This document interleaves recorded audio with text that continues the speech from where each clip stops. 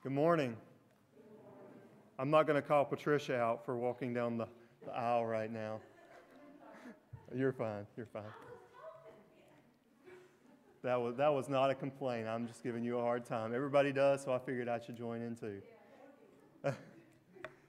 it is certainly a good day because we are here in God's house together. We have the opportunity to worship Him and to uh, seek His face. And so we hope and pray as uh, we're together that you will experience uh, the grace of God, that uh, God's presence will uh, just show you who He is, that will show His goodness and uh, show you who He's, he's calling you to be. Um, we do want to just begin with a couple of announcements. I know one of the things that I have up on the screen there is that we are um, well, not we, the Circle of Hope is actually selling Christmas and Thanksgiving cards, so be aware that those are there uh, in the back. Um, and soon we're going to be moving, it's not on there quite yet, but soon we're going to be moving into the uh, Operation Christmas Child Collection. I think that that's going to be next week. We'll be passing out the boxes. So uh, if you want to go ahead and start being uh, purchasing gifts and things to, to stuff those, uh, it would be a, a, great way to go ahead and be making preparations for that. Um, and that's what I have for announcements today. Are there any other announcements? I know you've got one.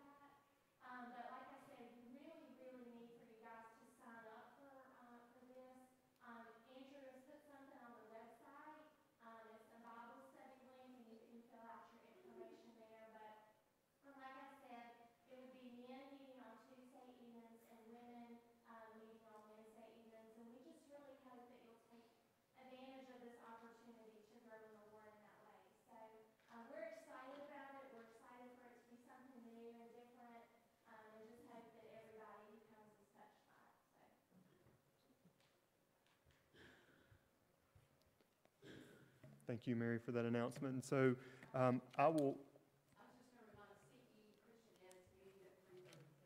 All right, CE at 3:30. And I'm, that's in the chapel again? Okay. We'll meet in the chapel.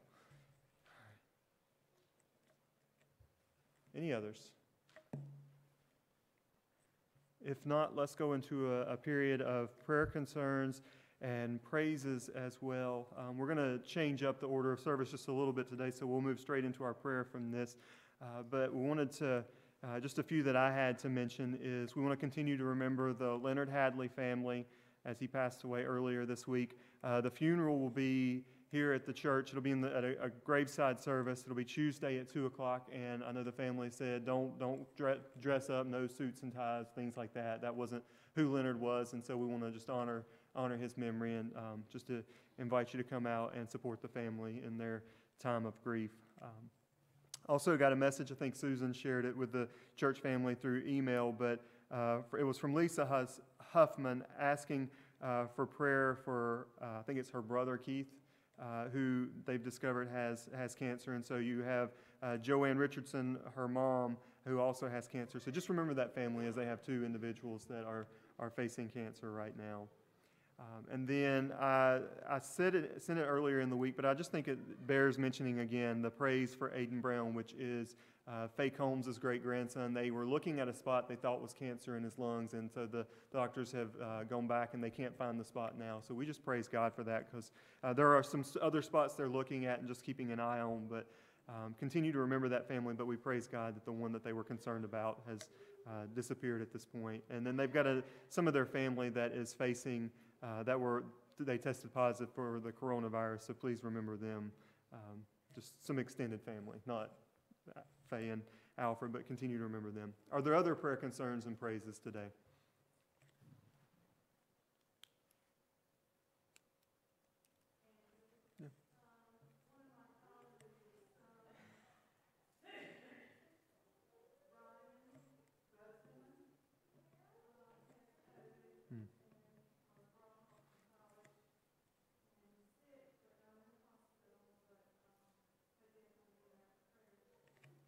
So that was Ryan Rosamund, uh, who's tested positive for the virus as well. So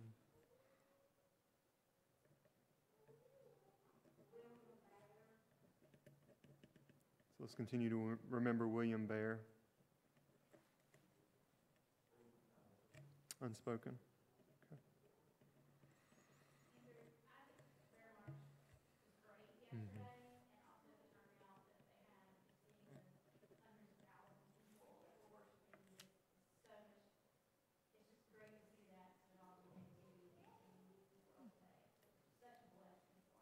Mm, absolutely. I know we, we, we had a prayer, our own prayer march version out here at the church yesterday, which was, uh, I just praise God for that opportunity to, to pray with other, other members of our congregation. But we also had the live stream playing out there. And uh, one of the things I remember them saying on the live stream is I, either as I walked by or as I was finishing up uh, and stood there for a little bit of time, uh, they were just saying how it is so much negativity right now. And, it, and if you go back 40, 50 years, it, it wasn't that way. We, we just are, are, so focused on politics at this moment, and it's just dividing us and destroying any sense of fellowship and community uh, in our nation. So let's uh, pray, for, pray for our nation and pray for opportunities to come together as, as a nation. Any others? Well, if not, let's stand and we're going to go to the Lord in prayer together today.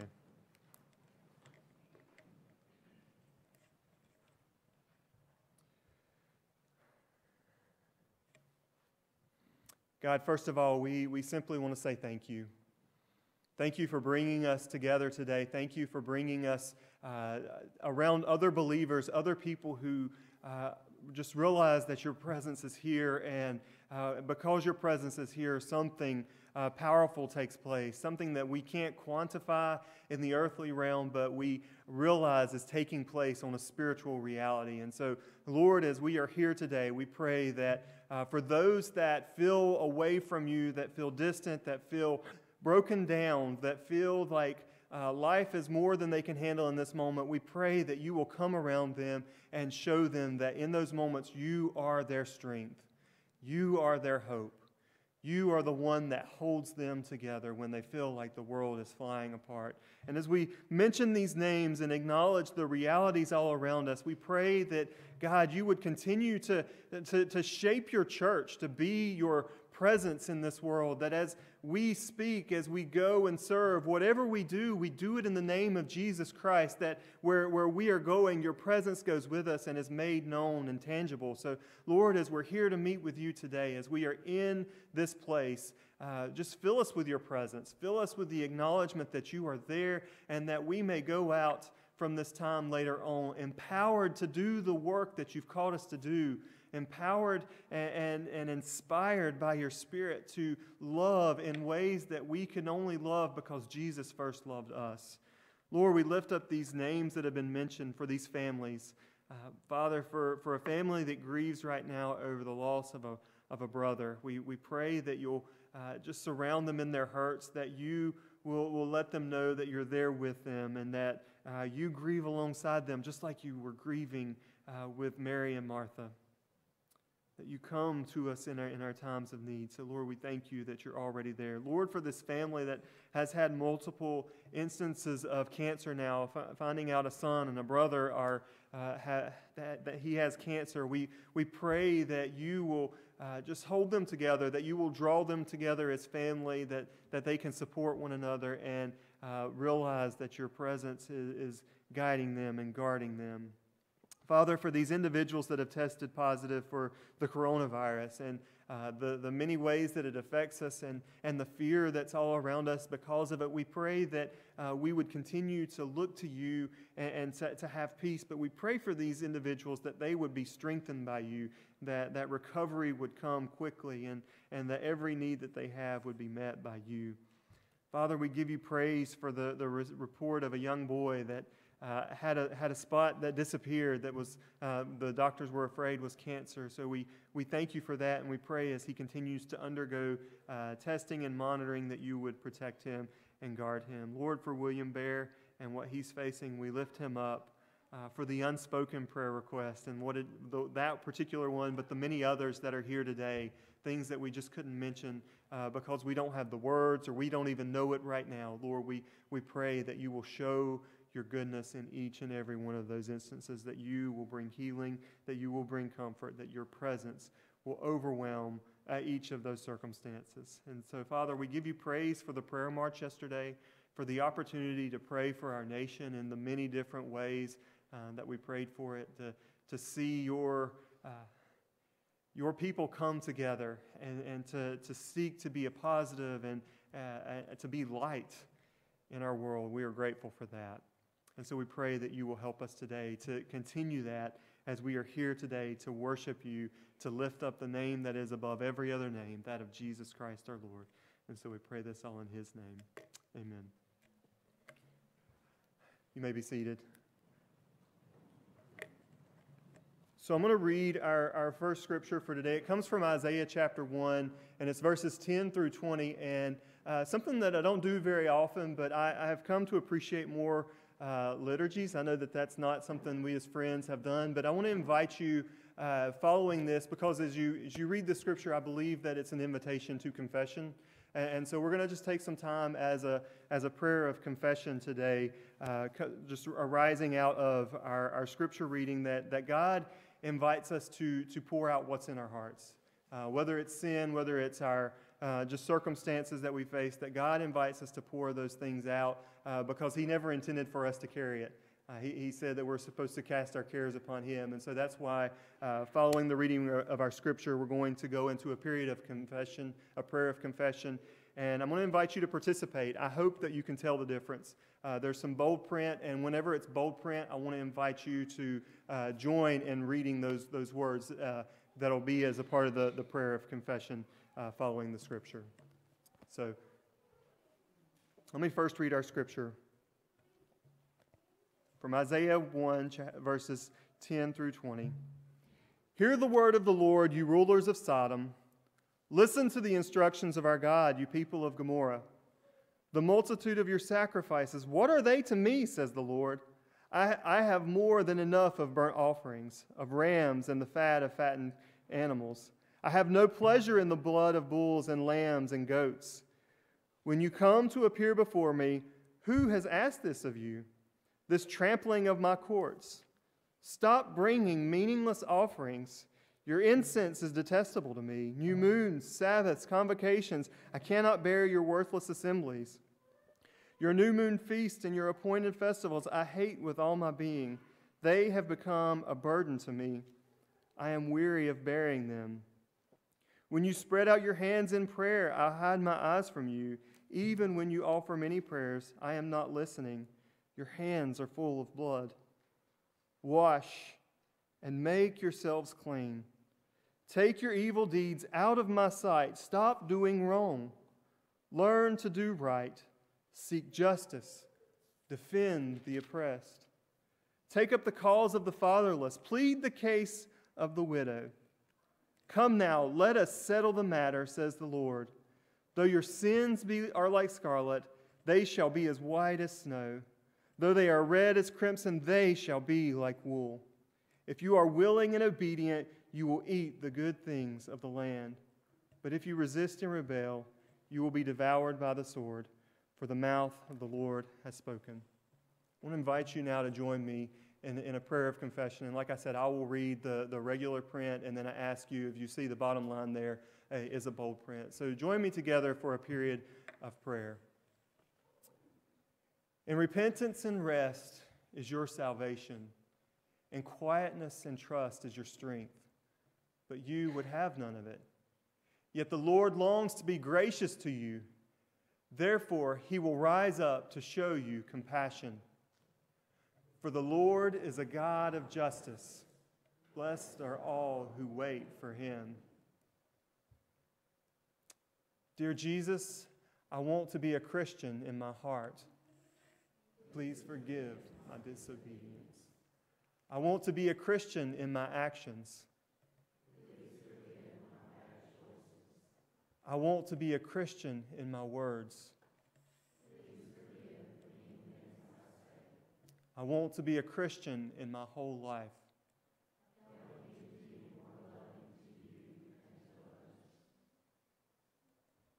So at this time, I invite you to just take a little bit of time to confess uh, your sins, to confess those things before God that separate you from Him.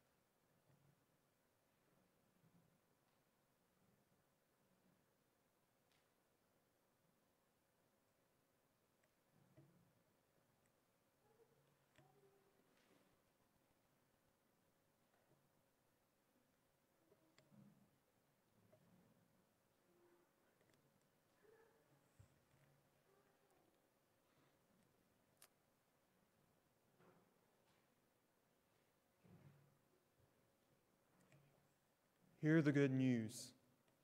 Christ died for us while we were yet sinners. That proves God's love towards us. In the name of Jesus Christ, you are forgiven.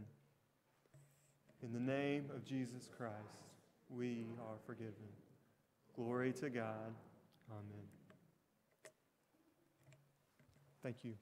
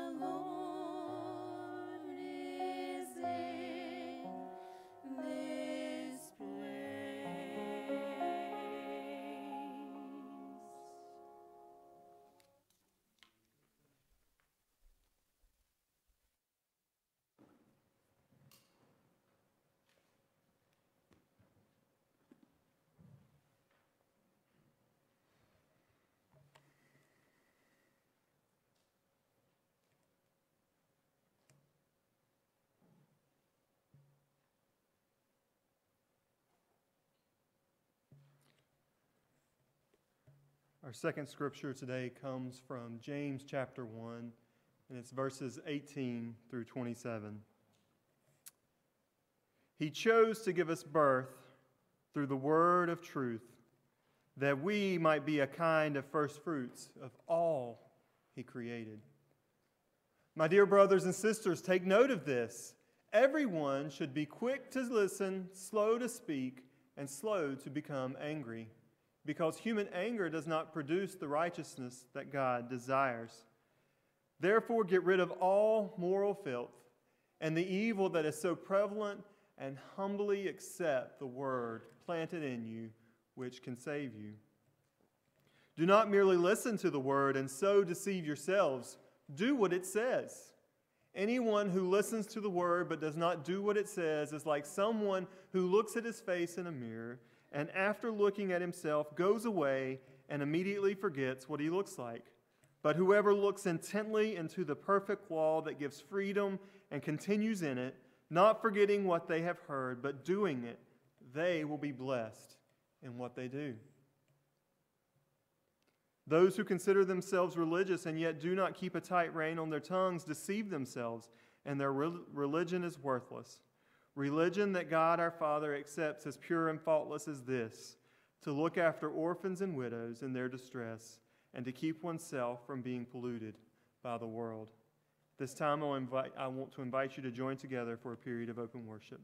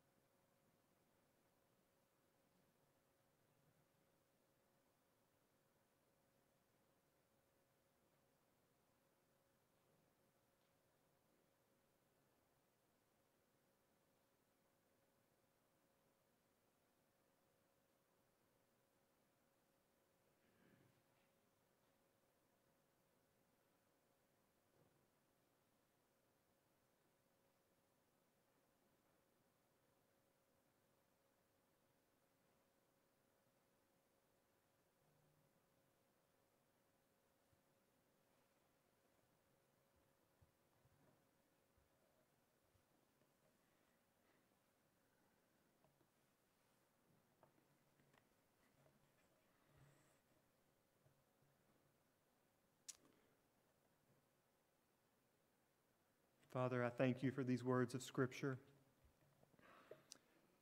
First, the reminder that you chose us. You chose us, that we are not an accident, that where, where we are and what's going on is not something that has overwhelmed and, and prevented you from working, but you have chosen us and you have called us by your word. You've called us to something greater, something that we could not do on our own, but something that you desire to empower and build in our lives through, through us spending time with you and in your word, that, that you long to, to do more than we can do on our own. God, I thank you for that reminder that you chose us, that we sit in here not out of accident today, that every single one of us is in this place for a purpose and for a reason that you have anointed this day for us to be with you. You chose us. And this word was anointed and, and chosen for this day that, that we acknowledge that long before we were here, long before we set onto the scene, God, you had plans in place and that you have been doing something, something that we haven't been able to see, but we trust that you are about. God, the fact that we are able to open up these scriptures, this word, and, and to read it, that, that long before we were on this earth, you, you preserved it and you have sustained it along the way so that we can take and read it today and it can change our lives because it is your heart being expressed to us. A heart that is for our good, a heart that is calling us to life. And so, Lord, as we look into this word, as we look into the letter that James wrote to a group of, of Jewish men and women who were living spread out away from everything that they knew and were comfortable with, we, we thank you that you are able to speak through it today, that your Holy Spirit comes around us and, and encourages us and empowers us to be the people that you've called us to be, to be more than we could be on our own. So, God, we pray that our hearts, our minds, our ears would be receptive to what you long to say today, to what you long to do, that you have, have a purpose and a plan for each and every one of our lives, that you are doing something today. So we thank you for this. We thank you that your heart is for us.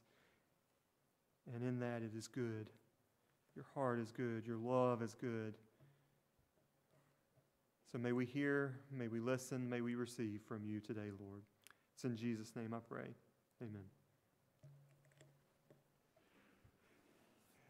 Yesterday, after the, the prayer march that we had out here, Mary had dropped me off earlier in the morning. But yesterday, after we'd finished up, I, I had the, uh, the, the privilege of being picked up by Janie. Mary brought Janie uh, to, the, to the church to, to pick me up. And uh, the, the reason that was such a privilege is just to have her, her greeting. She has so much excitement and so much love in her heart. And uh, in that greeting, uh, the, the first thing that I hear is, Andrew, I have apple seeds to plant. She, uh, she had had an apple for lunch and she was so excited about the seeds. She found it in there. And so we ended up taking them home and we uh, found a little cup, a, a, cup that we were going to recycle and put some uh, soil in there and we prepared it. And uh, she got to plant those apple seeds. And so now they're, they're sitting on our, our counter and we're going to see what comes out of those apple seeds. We, we don't know yet if uh, those. I know it's, it's really hard to start trees and things like that, but I, I just loved in that moment the excitement that was in her heart to, to, to see that, that the, the fruit of God's love in her heart, that uh, she, she has such excitement for life and such excitement over what seems like such a small thing. Those apple seeds were really small. I mean, let's be, let's be honest. And yet she had such a, a delight in those things. And so it, it, starts to give us a picture of what James is trying to say in verse 18. I realize we talked about that last week, but we're going to come back there because it, it shapes everything that we're going to talk about today. This idea of him choosing to get, God choosing to give us birth through the word of truth, that we might be a kind of first fruits that's the word I want you to hold on to is this idea of being a first fruit. And so, what does it look like to be a first fruit? What, what does it look like for that seed of God's Word, the Word of truth being planted in our lives to grow? And also, as we get into the scripture, we're going to see also what it's not. It's not just straightforward. This is exactly what to do. It's also given us some warnings, things that we don't want to put into place in our lives because that's not the kind of thing God desires for us. And, so, as we think about this idea of the seed, it's understanding that God is casting seed. Last year, I think it was last September, October, we were looking at the parable of the sower, looking at those different soils. And so throughout Scripture, you get this illustration of seed and how important they are. Uh, to pay attention to. And, and so the seed today we're talking about is the Word of God and how the Word of God is at work. I hope, I hope you believe that this still works that God is doing something through this. It, it is not an accident that we hold this in our hands today, that we're able to read it, that, that God is doing something. He continues to work through this. It's not a mistake. God is at work through His Word. And so when the Word of God is planted in our heart, just like those seed, we planted them in the soil, it is intended to do something in our lives. It is intended to bring about something that God desires to do. God is planting that seed every time we pick up the word eh, on Sunday morning, but every time, even more, every time we pick up the word throughout the week and we take time to read it, God is planting something in your heart. God is trying to do something that only God can do. I, I, I so often get it wrong because I go back and think, all right, it's what I'm going to do. It's about how good of a sermon I'm going to preach. It's about how, how good of a devotion I'm going to have, how, how much time I'm going to do. No, no, it's not about that. It's about what God does.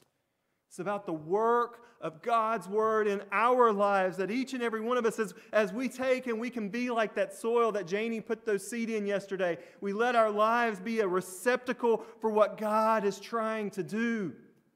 So God's word is at work. I hope that you believe that. And so we want to see what those first fruits are. This scripture today, as I was talking with Mary about it, and we were trying to figure out what direction to go, this scripture seems so disjointed. I mean, even James, he jumps metaphors right in the middle of, uh, of, of what he's saying. It, it, it's honestly, I'll apologize because I know a lot of times my sermons can be that way too.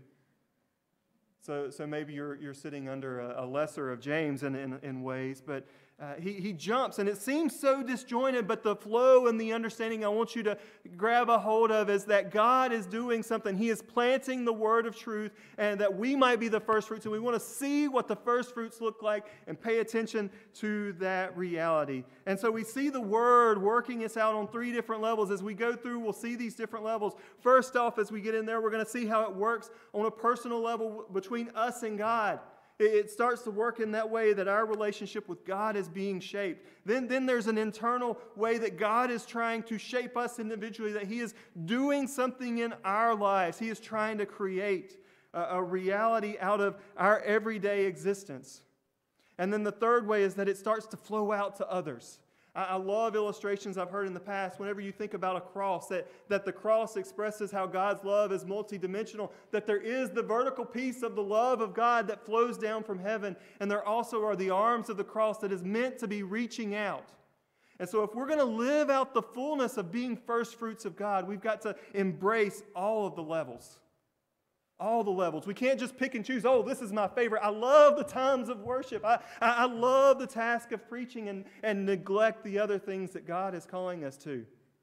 We have to embrace the wholeness of what God is doing. That's why we read the full counsel of the Word of God. See, we, we have favorite places. I have favorite places of Scripture, and I'll, I'll outright tell you some of the, the favorite Scriptures I have. But we don't want to go to those places to the neglect of the whole Word of, and counsel of God because God is saying more than just what our favorite thing is. God is trying to shape us in a way that He brings about good in our world that is extending out to everyone we meet. And so the work of God's Word is to grow God's heart in us. At its most basic form, the work of this Word is to grow God's heart that we would meet with God. We would know what he cares about. Is, and, and part of the reason we read Isaiah at the beginning is it has so many overlaps here with James. James was shaped himself by the, old, the, the scriptures, the Old Testament scriptures that we call. I've been challenged by a, a preacher out in Nashville to start, stop calling it the Old Testament because that makes us think that, well, it's old. We, we don't like old things. So we, we don't need to pay attention. Let's just go to the New Testament, the Old Testament. Uh, he, he challenges to call it the Torah, which is, is the, the Hebrew name for the, the first five books. But those teachings, those things that still speak today, that shape James, that shape Jesus, that God is calling us to be shaped by today. So the work of God's Word is to grow God's heart in us. And we saw that in both of the scriptures. James is not just showing up out of nowhere and saying, All right, you need to do this there at the end, as we read, religion that our God our Father accepts as pure and faultless as this. It's not just that James is all of a sudden discovering this reality, it's something that's been taught to him throughout time because he's opened up God's word.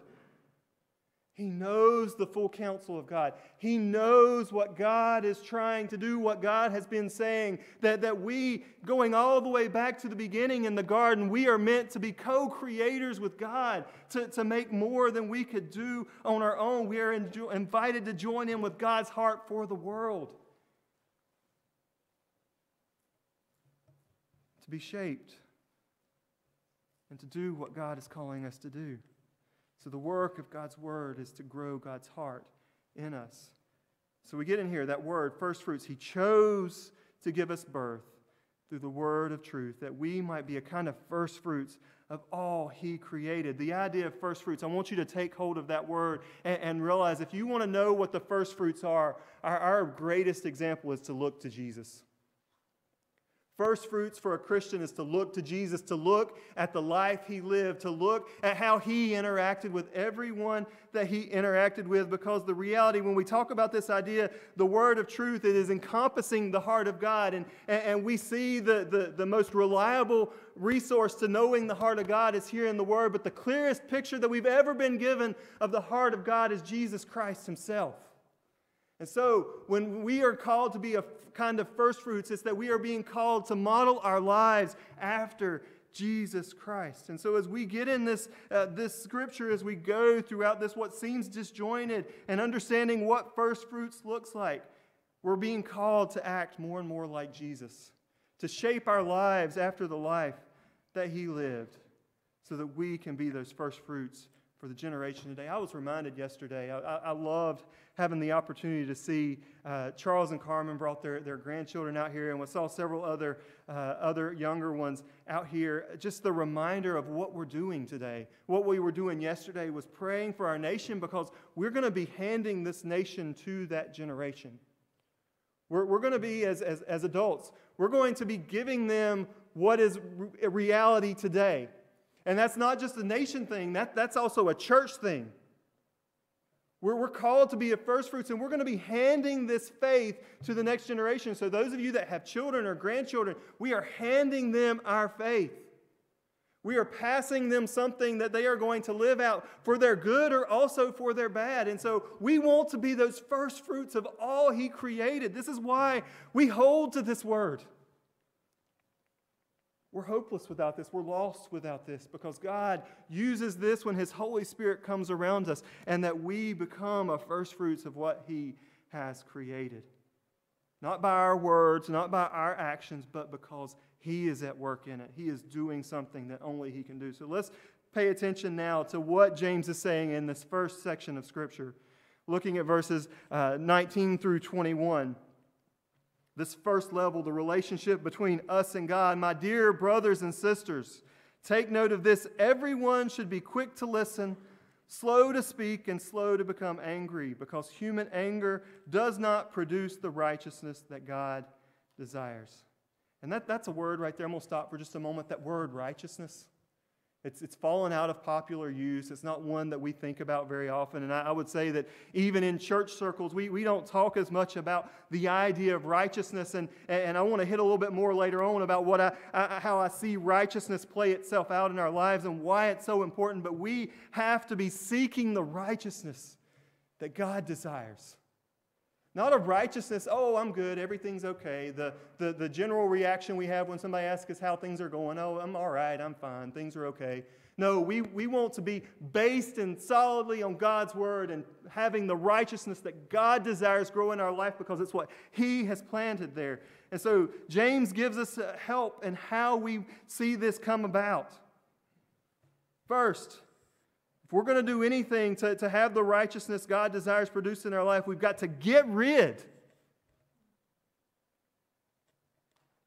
Get rid of all moral filth and the evil that is so prevalent. Those words, get rid, I'm, I'm, I'm, i want to linger there for just a moment because they are very strong words. It's not just tolerate the evil in your life. Let, let these things dwell in your life a little bit longer until you get so uncomfortable with it. We need to get rid of them. They are weeds. They are robbing our lives. Anything that is taking us away from God, that is taking our focus away from what God is calling us to do, we need to get rid of it. It's moral filth, it's evil, and it is killing us. Instead, we were given the remedy humbly accept the word humbly accept the word. Be a people who are able, in that word, humbly. I think that that's such an important piece that, that, that we say whatever God is saying, we're going we're going to accept it. We're going to do it because God knows better than we know. God understands better than we understand. So when we get rid of the moral filth and we humbly accept the word, we start to see the righteousness that God desires be produced in our life because God is at work through the word. God says that it's going to go forth and it's going to produce the things that He's called it to produce. So we get rid of the things that are distracting us from this and we accept it into our hearts and we let it speak. Let the word take root in your life, just like the seed we started talking about. Let it take root. Get rid of the things that are separating you from God, the things that are taking your attention, that are stealing your joy, and focus on God's word. Get alone with God's word. If it means having to turn off the TV, I got in trouble this week for, for, for having my phone out when in the middle of a conversation I was having with Mary. Maybe it means turning off your phone or your computer or whatever it is that has so much of your attention that is distracting you from even giving a few moments alone with God. Turn it off. Accept the word because here is life. Do we believe it? Do we believe that this is life? And we see the second part of it, which can save you. This word is able to produce salvation in your life. It produces righteousness. It grows something that you can never grow on your own. You can't live the life God has called you to live without God's presence in your life. So when we talk about God's righteousness, it doesn't come from us. It's not our good deeds so that no one may boast, as Romans says. It's through the blood of Jesus Christ, who has died for our sins to, to take them away. But this word, as we talked about, it's antiquated, but it's still important. We've got to get back to holding to the righteousness that God desires for our lives. Because when we think about righteousness, this is the image that I have. I, I had the opportunity whenever I worked at Siler City Elementary. I, you would think it's crazy to, uh, to, to pull out a bunch of bows and arrows with, with fifth graders and fourth graders and, and teach them how to, to, to shoot a bow and arrow. But I had the opportunity with one of the other teachers to, to teach them, and I was learning myself. I was more there just as like another adult because can you imagine 25th, fourth, and fifth graders with bows and arrows uh, after school? It's, it's kind of nerve wracking. Uh, Bless you, Angie, for allowing that club to happen. But there's, there, there's something that's so great about the, the, the, the discipline that a bow and arrow places in your life, that you are being trained uh, and how to do it properly. That was one of the most important things. If, if you were not listening, you were out. You were gone. You, you couldn't stay around. But, but what I love and why I think that the example of a bow and arrow is so important is because when you point the bow in the right direction, it's going to head in that direction. When, when we allow God's word to direct our lives, our lives are going to head in that direction, just like as eh, eh, God is just setting us off in, in a certain path. But we want to make sure we're following the course that God has for us, that we're letting His righteousness shape us and send us out into the world, not us. Not what we've done, but God's Word and the truth that is present in God's Word because it's God's heart. It's the revelation of Jesus Christ. It's learning to model our lives after that so we want to be heading in the right direction in our relationships. Then we go on. Do not merely listen to the Word. Ooh. Let me read that again. Do not merely listen to the Word and so deceive yourselves. I hope that grabs your attention. Don't just listen to the word. I, I, can be just as guilty of anyone else. Getting my, my Bible reading in the morning, it sometimes can just devolve to, all right, let's get through this, let's get it done. That's not listening to the word. That's not giving it time to speak and do what God is calling it to do and asking for it to do. And so deceive yourselves. Do what it says. The word that I'm going to bring out in this section is obedience. Do what it says. Anyone who listens to the word but does not do what it says is like someone who looks at his face in a mirror and, after looking at himself, goes away and immediately forgets what he looks like.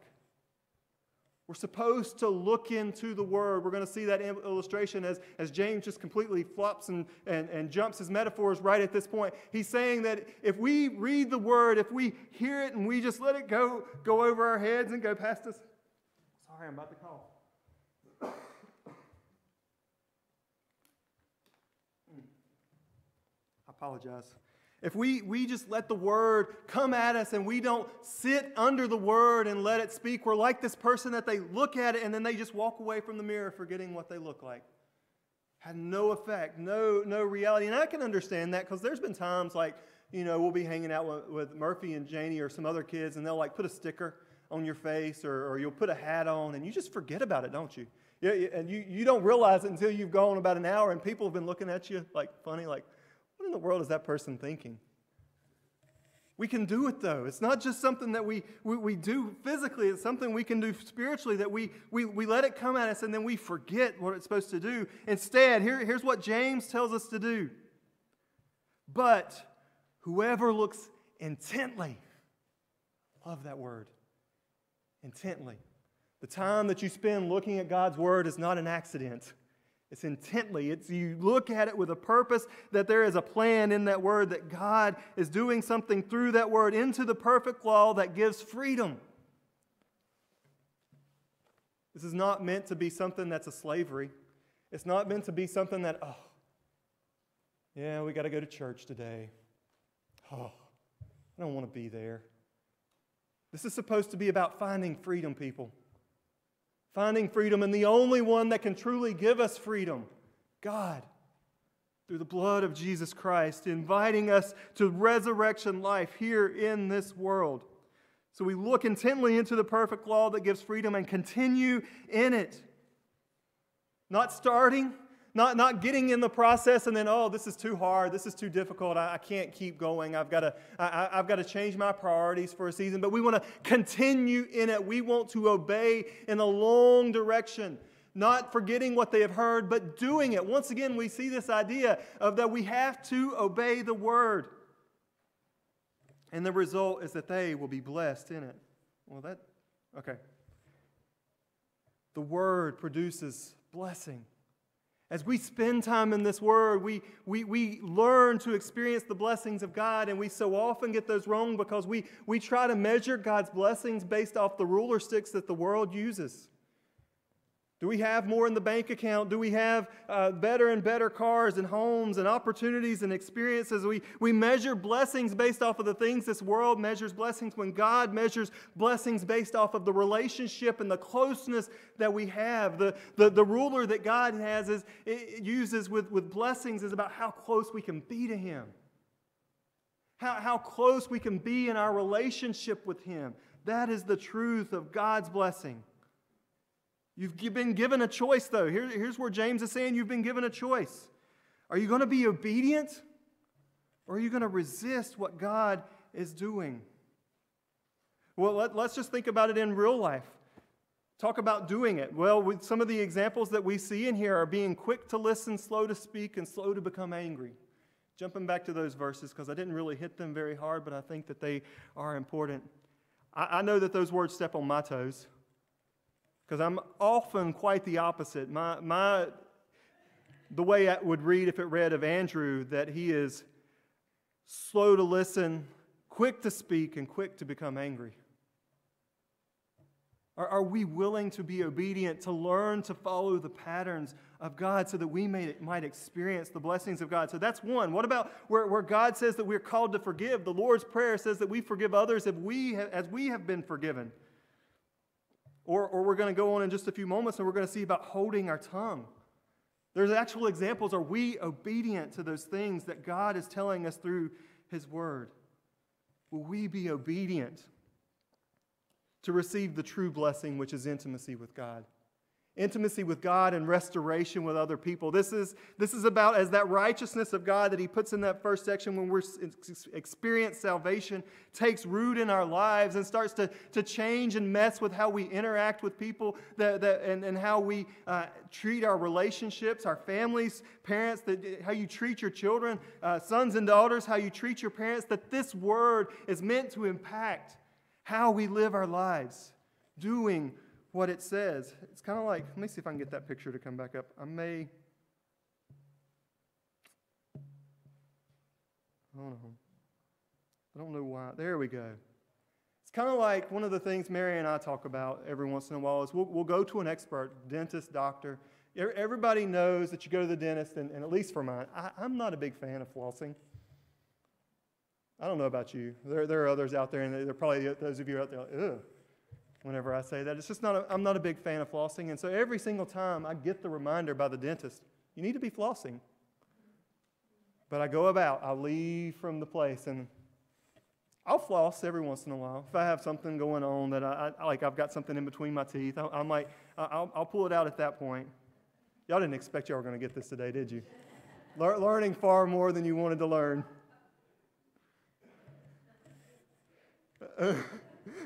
I heard that.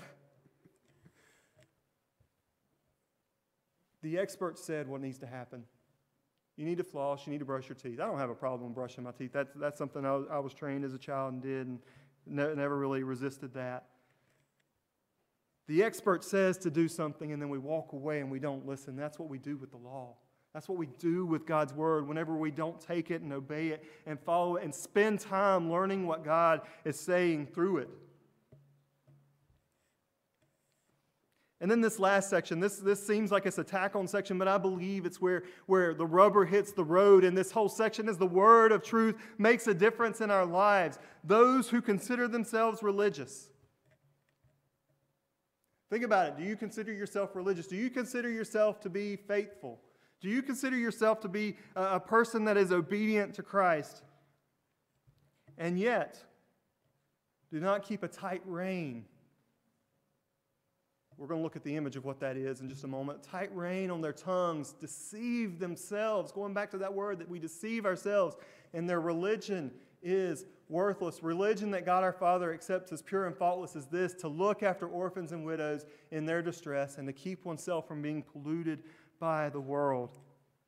See, the, the reality is, as we spend time with God, as we let our relationship with God change who we are, how we interact with other people, as we learn to hold our tongue, as we learn to be quick to listen, slow to speak, and slow to become angry, the Word actually begins to produce fellowship. It produces deeper and deeper community that, that, that we look around and the people that are around us we want to be around, and they want to be around us. The, the word at work in the community of the church, it produces fellowship. It, it starts to get its own gravitational pull, and people want to be around uh, the, the, the church because these people, they're being changed by the word. They're, they are people that are full of life and full of hope because they spend time with God. They, they, they see the blessings of God, that they have this intimacy that, that they, they've spent, the people have spent all their time trying to build the bank account or, or, or get the house or get the promotion or get all these things that this world says is important, and they still can't find the peace and the joy that a believer has as they have committed themselves to God's word. They still can't find it, and they look to the church. Hopefully, they're looking to a church that does have that blessing of God, that intimacy, that they, they, they do have that righteousness and salvation that stands out against a world that is perishing. And they see a fellowship and they want to be a part of it. It's about being in community with others. See, the, the picture is actually the, the horse's bridle, that, that there's a rein, that you put this over the head of a horse and you're able to direct it, you're able to control it. And, and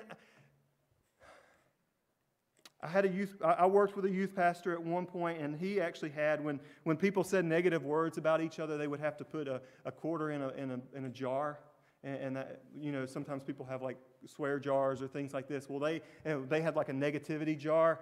And, and, it actually got to a point in that group where, where they would say, you know what, I'm going to go ahead and put a dollar in because this one's going to be worth it. They weren't keeping a tight rein. It was, it was about wanting to have something to say in that moment, being quick to speak instead of quick to listen and slow to speak that God is calling us to practice self control, that, that we don't have to have the final word because He already has. In an argument, in whatever's going on, in whatever relationship I have, I don't have to have the final word because God already does. I realize it's not worth fighting about because the relationship that I have with other people is worth my opinion, worth more than my opinion. I don't have to have the final word.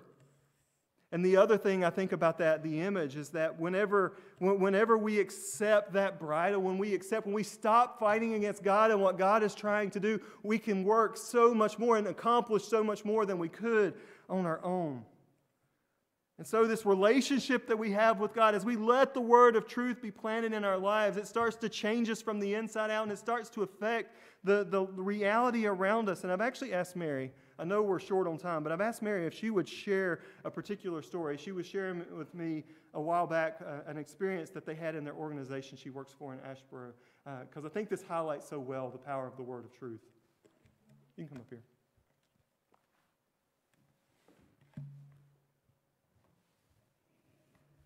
So I don't know if y'all are familiar with what um, we do, the organization I work for, but we are for young women and young men and older women and older men too um, that are in really destructive habits, um, that are in really fractured relationships, that a lot of them come in because they're in an unplanned pregnancy. And um, they come in very scared and they come in um, just really broken people from excuse me from really broken homes and so, um, over a year ago, we had a young lady come in. Um, typically, they start just seeing if they are pregnant. So we scheduled her a pregnancy test, and um, she it was positive. And she had such a rough, rough persona. Um, she she um, met with our client services director, who is an individual who will tell you the truth and it is packaged in all the love and grace that it can be. And so she told, um, she told our client services director, Miss, I know what I'm going to do when I leave here, and there, nothing, nothing you're going to tell me is really going to change that. Um, because what we do is we try to navigate them, educate them, and then navigate them to choose life for their babies.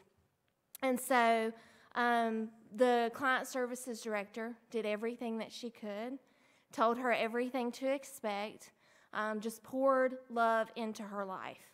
Um, the young lady left. The young lady had an abortion. Um, and then, fast forward um, to recent, in recent months, um, this lady calls us back and she needs to come in for a pregnancy test. And so um, we put her on the phone with our client services director. And um, the first thing our client services director asked, because she's tried to keep in touch with this girl throughout this whole process, she asked, why, why do you want to come back here? Like, you know, why would you want to do that? You know, because because our client services director told her the truth. Um, the truth was hard for her to hear at that moment in her life. And she, our client services director, was talking to us, the staff, about it and said that when she asked this young lady that question of why she wanted to come back to us for a second time after she had already had an abortion the first time, she said, Miss, I know that you love and care about me because everything that you told me that would happen was true. As much as I didn't want to admit it, it was true.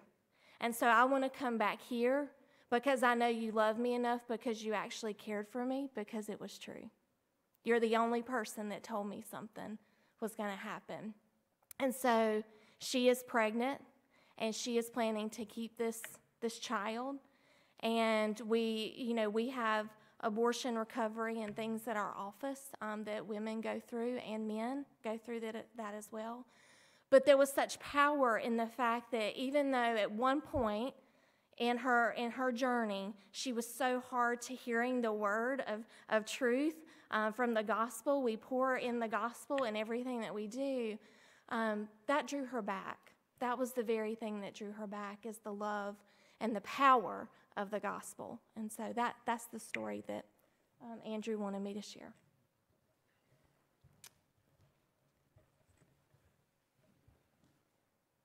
I wanted you to hear that because I also want you to understand that that's how God loves us. That, that God confronts us with the truth. That, that when we open this word and God is confronting us and showing us sins, it's about God's love for us, that He doesn't want us to experience the fractured, broken lives that we could continue living into, but He has called us instead. Going back to verse 18, He chose to give us birth through the word of truth that we might be a kind of first fruits. You're the first fruits. The life that you live this week, somebody is going to see, and, and the way you face it's either going to point them towards God or it's going to point them away. And so, this is why it matters. This is why it matters because you are the first fruits. You are the ones that are showing the goodness of God because you believe the goodness of God is at work. You believe that God is doing something that only God can do. God's word, it works. I hope you still believe that. I hope you trust. That's one of the things that we hold as evangelical Christians is that this word is powerful. This word reveals the heart of God, and we most clearly see the word of God in Jesus Christ. If we submit ourselves to it, if we say, you know what, God, I, I don't necessarily agree with everything that's in here right now, but I trust you, and I trust that you're saying it for my good, that God will do something that only God can do. God will produce something that we can never produce on our own. It is something that He will do, and so because it's something He will do, He will receive the glory. He will receive the honor. He will receive the praise. So I want to invite you to stand, and we're going to close in prayer. If you've got your word with you, if you've got a Bible there, if you have your Bible on your phone, however, I want you to, I want you to hold it in your hand. I want you to have it close by. Because I, I want you to realize this, this is where God's saying, I love you. I love you enough that I don't want you to continue living into broken patterns. I want you to experience life and life abundant. So let's take a moment and pray together. God, I thank you for your word. Your word is life. Your word is intended to, to bring about life in us. Your word is intended to create your kingdom here on earth as it is in heaven. And so, God, I pray for your people today. If, our, if we have our Bibles with us, I, I pray that we just uh, realize the, the gift that it is. That it is a gift because it's something that we hold that we didn't have to have. Lord, it's a miracle that we hold the Bibles in our hands today. But, but God, I pray that we understand the gift that it is because it calls us to be like your Son, Jesus Christ that we might experience righteousness that's not our own, a righteousness that is given by grace through faith in Him. That, that we might experience that salvation the forgiveness of our sins, whatever we have holding us back, Lord, we, we cast it aside and we, we, we let it be covered under the blood of Jesus Christ so that we may walk faithfully with you and, and, and in moments that we may run with all of our heart towards you and towards the world that's perishing because we love you so much. Then this word has made such a difference in our lives that we can't bear to see people live broken, destructive patterns. God, may your fellowship come and dwell in this place because we, we gather around this word realizing that these are the words of life. May we treasure this, not being like James says, ones that hear the word and turn away, not paying attention to it and forget what it says, just like we can look in a mirror and forget what we look like. May this word be about transforming our lives because we treasure it we believe that it still speaks and it still does a good work in us today. So, Lord, as we go from this place, give us a desire for the true word. Give us a desire for your presence that in all that we do, all that we say, your word may flow from us. If we hold our tongue, we hold it for your glory. If we speak, we speak for your glory and the words of truth that you've given us. If we hold our anger, Lord, we, we hold our anger because your love is so much more important. When we choose to, to love those that are the least of these, the, the orphans and the widows, the ones that have no defense of their own, may, may we realize that you're about building fellowship and building a better world for everyone. Everyone, no one excluded. Every one of us is invited into this fellowship because of your word. And so, Lord, may your word speak to us, not just this morning, but throughout this week. May we have a hunger to pick it up and to read it and to let it change us because it's something only you can do. And so we pray this in Jesus' name. Amen.